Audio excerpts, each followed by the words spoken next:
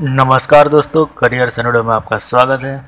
दोस्तों All India Institute of Medical Science Delhi द्वारा पाँच सौ इक्यावन नर्सिंग ऑफिसर के पदों के लिए भर्ती विज्ञापन जारी किया गया है, जिसमें जॉब लोकेशन दिल्ली रहेगा।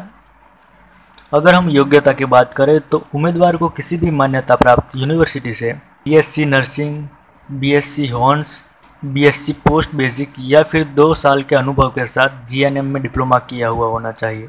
अगर हम आयु सीमा की बात करें तो उम्मीदवार की आयु 18 साल से 30 साल के बीच होनी चाहिए। अगर हम एप्लीकेशन फ़ीस की बात करें तो जनरल अर्बन और ओबीसी उम्मीदवार के लिए पाँच सौ रुपये फ़ीस होगी।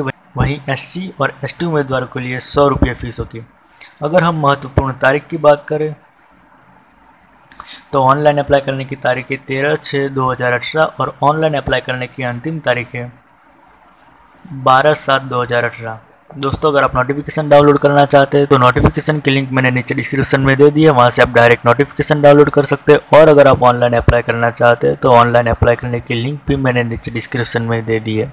तो वहाँ से आप डायरेक्ट ऑनलाइन अप्लाई भी कर सकते हैं।